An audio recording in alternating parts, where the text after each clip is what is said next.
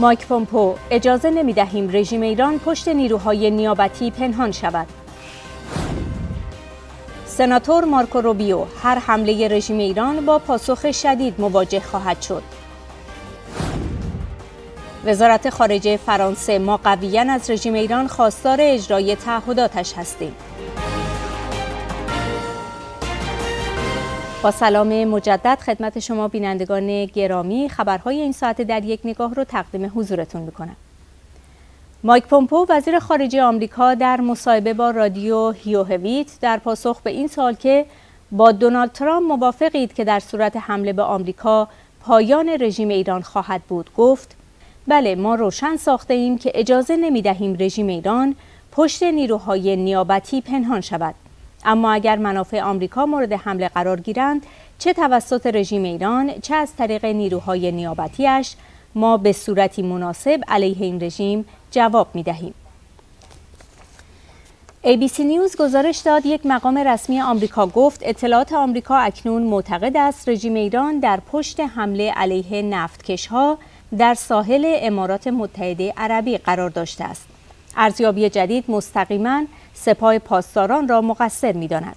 پاتریک شانهان سرپرست وزارت دفاع آمریکا گفت جابجایی ناو هواپیمابر آمریکا به خاورمیانه بازدارندگی مؤثری علیه رژیم ایران داشته و این رژیم را مجبور به ارزیابی مجدد و معلق گذاشتن حملات احتمالی علیه آمریکاییان در خاورمیانه ساخته است.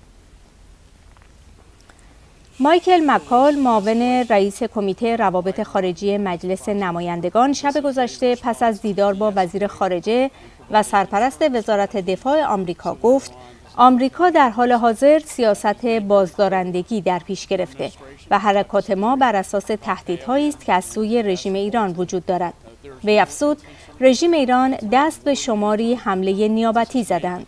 اگر به ما حمله کنند واکنش قاطع نشان می دهیم.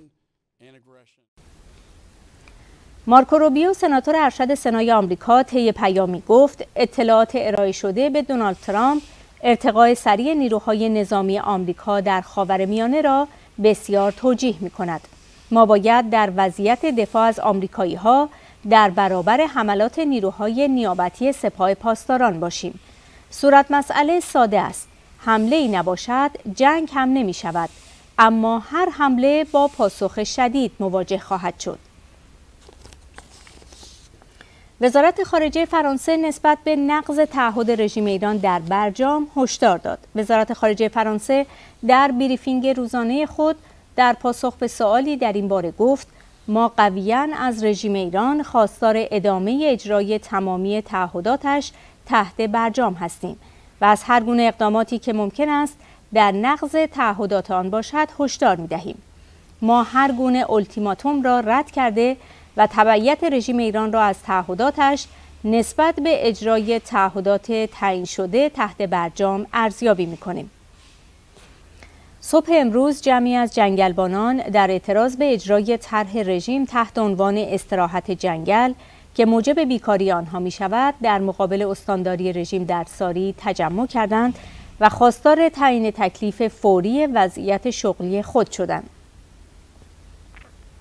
صبح روز چهارشنبه ماموران سرکوبگر نیروی انتظامی به بهانه روزخاری به یک رستوران در دانشگاه آزاد مشهد حمله کردند و آن را پلمپ و چند دانشجو را دستگیر کردند.